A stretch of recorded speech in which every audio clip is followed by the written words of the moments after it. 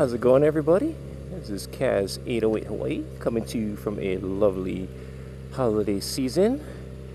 It's been a while since I talked to you all, so I figure I'd wish you happy holidays and let you check out my new lid that I got here with the sporting antlers. Getting into festive season. I don't know if you can actually see the. Well, I guess depending which view, I've got my antlers on my my bike here. Cindy's all dressed up for the holiday season. And in case you're wondering, the red nose is not blocking my ram air intake. I moved that up, so she needs to breathe. I made a mistake in doing that last time, and she quickly corrected me of that. Anyway, I'm not too sure how long I'm going to have my selfie cam on because my GoPro batteries suck. But anyway, so for the time that I have, I will talk to you all as I'm facing you since I was always taught you should face the people that you're talking to. So I can see you all there. Um, you may notice I'm rocking the red shield. This is the Bell RS1 helmet with the photochromic shield. Um, strongly, strongly recommend it. Photochromic shield, awesome. It you don't need to swap out shields when it gets dark. It's it's it gets light really quickly. It's very comfortable. I got nothing bad to say about it. I bought another helmet. Well, actually, I have three Bell RS1s. Um, the first one that you saw, which is a shatter design, and then I bought the Bell emblem, and then I also bought the red one to match for my holiday stuff. So, yeah, I've got three helmets that are Bell RS1s, and I've got my Shoei. And you know what? I didn't. I don't know if I actually did a really good review on that helmet, but that helmet is awesome.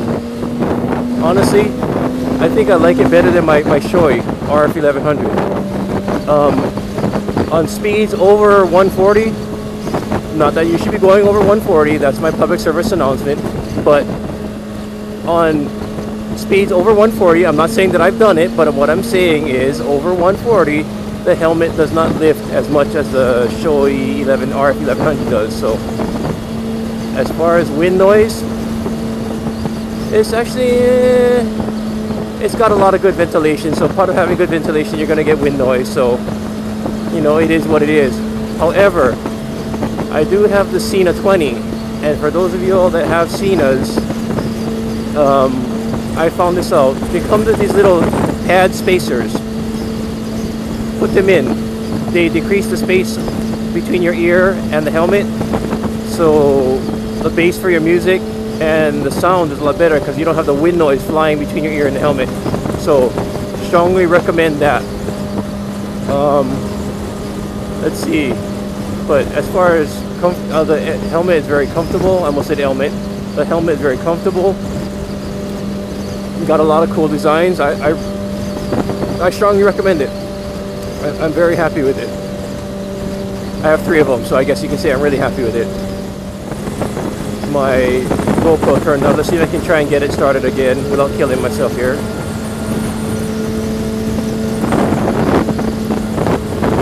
Let's try that again. I understand that the buttons are waterproof and all, but man, they're a pain in the ass to get started.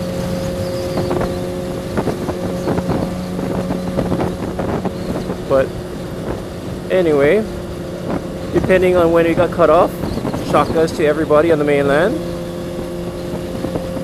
Oh, it's a beautiful day, getting some nice riding in.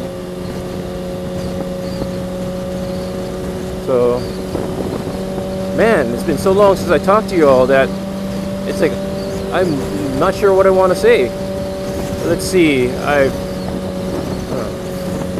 Uh, GoPro's turning off again. Oh, look, I'm stuck behind my favorite car in the entire world. I am stuck behind a Prius. Love it. If you drive a Prius, you know, nothing personal. But my thing is, I understand that you guys get this magical gas mileage if you go a certain speed, what have you.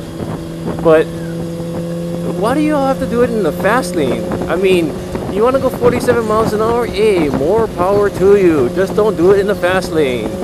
Some of us have places to go, people to see, and don't want to be stuck behind a hybrid the whole day.